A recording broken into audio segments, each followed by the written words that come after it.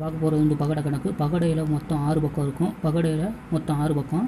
அதில் வந்து நம்ம பார்க்க போகிறது வந்து பகடையில் எப்படி வேணாலும் நம்பரை மாற்றி மாற்றி கொடுத்தாலும் ஆன்சர் ஒரே மாதிரி வரும். இப்போ பார்த்தீங்கன்னா மொதல் கட்டத்தில் மொதல் பகடையில் பாருங்கள் ஒன்று ரெண்டு மூணு இருக்குது ரெண்டாவது பகடையில் நாலு ரெண்டு அஞ்சு இருக்குது இப்போ இதில் கேட்கப்பட்ட கேள்வி என்னென்னா இரண்டுக்கு எதிராக உள்ள எண் எதுன்னு கேட்டிருக்காங்க. இப்போ பாருங்கள் ரெண்டு பகடையிலுமே ஏதாச்சும் ஒரே ஒரே மாதிரியாக இருக்கான்னு பாருங்கள் அதை முதல் எழுதிட்டு அப்படி கிளாக் வைஸில் எழுதுங்க. இப்போ முதல் பாடலில் பாருங்கள் ரெண்டு இருக்குது ரெண்டாவது பாடலில் ரெண்டு இருக்குது அப்போ மொ முதல்ல ரெண்டு எழுதிக்கிட்டோம்.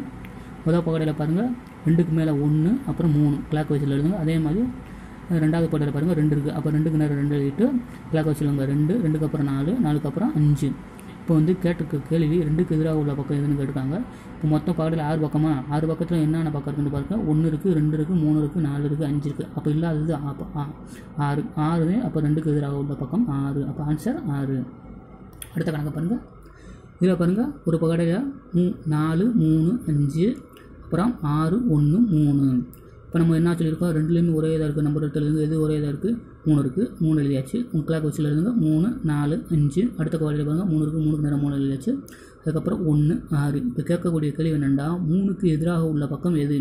இப்போ மொத்தம் ஆறு பக்கம் சொல்லியிருக்கோமா? இல்லாத நம்பரை பாருங்கள் ஒன்று இருக்குது ரெண்டாக காணும் அப்போ மூணுக்கு எதிராக உள்ள பக்கம் எது?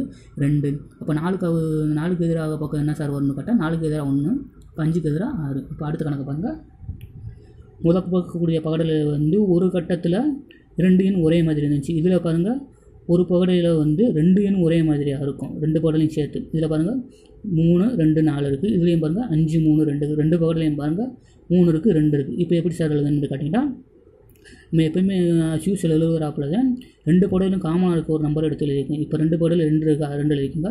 அதுக்கப்புறம் கிளாக் வச்சு எழுதிக்கோங்க. மூணு நாலு. அதே மாதிரி அந்த பகலில் பாருங்கள் ரெண்டு இருக்குது அப்போ ரெண்டுக்கு ரெண்டு ரெண்டு எழுதிங்க அப்புறம் கிளாக் வைஸ் மூணு அஞ்சு. ஏன் சார் மூணு எடுக்கக்கூடாதா மூணு எடுக்கலாம். மூணு எடுத்தாலும் மூணுக்கு நேரம் மூணு தான் வரும் ரெண்டுக்கு நேரம் ரெண்டு தான் வரும்.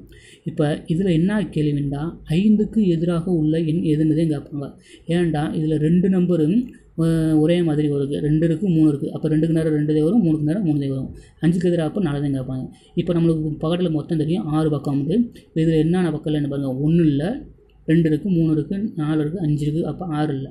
இப்படியே கரெக்டாக ஒன்றுக்கு எதிராக ஆ- எதிராக உள்ள பக்கம் என்னன்னு கூட கேட்பாங்க. இப்போ இதில் நமக்கு ஒன்றுன்ற எண்ணே வந்து இந்த பகாடில் கொடுக்கல. இருந்தாலும் அப்படி கேட்குறதுக்கு வாய்ப்பு உண்டு. அப்படி கேட்டால் மொத்த பகாடில் ஆறு பக்கம்ன்றது நம்மளுக்கு கண்டிப்பாக தெரிய வேண்டும். அது எழுதிட்டு இதில் இல்லாத நம்பர் ஏதோ அதுதான் அதோட ஆன்சர் இதில் பார்த்தீங்கன்னா ரெண்டு இருக்குது மூணு இருக்குது நாலு இருக்குது அஞ்சு இருக்குது ஆறு இல்லை ஆறு. ஒன்றுக்கான ஒன்று அப்போ ஒன்றுக்கு எதிராக உள்ள பக்கம் ஆறு. அடுத்த கணக்கை பாருங்கள் இதில் பாருங்கள் ரெண்டு பக்கத்துலேயும் ரெண்டு எண் ஒரே மாதிரி இருக்குது ஒன்றில் ஒரு இந்த பக்க உடையில் ஒன்று இருக்குது அதுலேயும் ஒன்று இருக்குது இதுலேயும் அஞ்சு இருக்குது அதுலேயும் அஞ்சு இருக்குது இப்போ நம்ம என்ன சொல்லியிருக்கோம்? ஒரே மாதிரியாக உள்ள எண்ணை வந்து முதல்ல எழுதிக்கணும். முதல்ல ஒன்று எழுதியாச்சு. அதுக்கப்புறம் கிளாக் வைஸ் எழுதிக்கோங்க. ஒன்றுக்கு அப்புறம் மூணு அஞ்சு இருக்குது அடுத்த பகுதியில் பாருங்கள் ஒன்று அதுக்கப்புறம் நாலு அஞ்சு. இது இதில் என்ன கேள்வி கேட்பாங்கன்னா மூணுக்கு எதிராக உள்ள எண் எதுன்னு கேட்பாங்க. அப்போ மூணுக்கு எதிராக உள்ள எண் எதுண்டா? நான்கு. இப்படி இல்லாமல் நான் முதலே சொன்னேன்ல இப்போ இதுக்கு முந்தின கணக்கும் இந்த கணக்கும் ஒரே மாதிரி தான் இப்போ கொடுக்காத என்ன பாருங்கள் ரெண்டு இல்லை ரெண்டும் இல்லை ஆறும் இல்லை. அப்போ ரெண்டுக்கு எதிராக உள்ள எண் ஆறு தேங்க்யூ